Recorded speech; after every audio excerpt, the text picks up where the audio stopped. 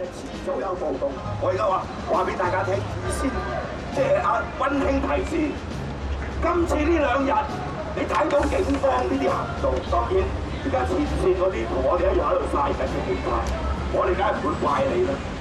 你打呢份工都好夠辛苦啦，講我講啱唔啱先？各位呢一個咁嘅曾偉雄、胡錦濤嚟香港嘅時候啊，個警務處長都冇咁高級規格嚟招呼呢個李克強啦，大佬。呢個高規格招呼李克強係乜嘢啊？係揾個金鐘罩笠住呢個總理。各位，呢啲係為咩咧？擦鞋。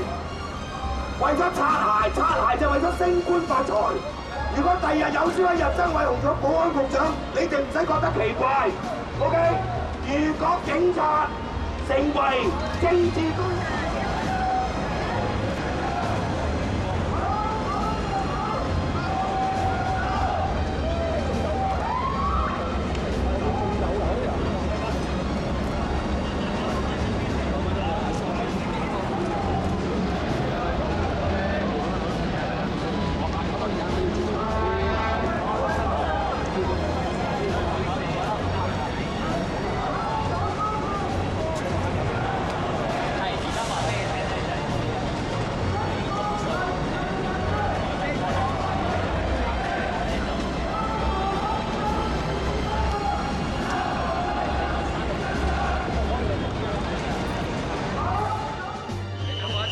我轉嚟即刻打個聲。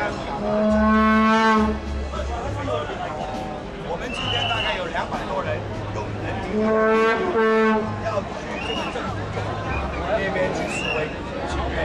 我们提出三大诉求：第一，要求中央政府彻查温州动车事件，然后追究责任；第二，要求中央政府释放维权人士，放所有的民运人士，还政于民。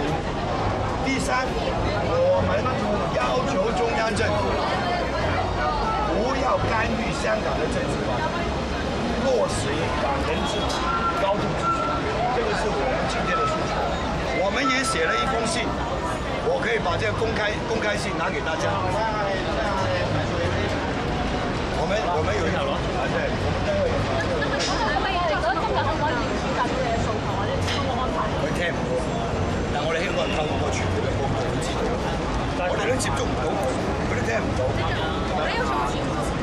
呃，我们因为他今天要离开了，那他今天最后一个活动就在这里主持这个政府新大楼的，对，所以今天你看我们往那地方啊，香港的官员是这样做，作为一个官员，是维持治安，对吧？维持社会的秩序，你不能够做政治工具。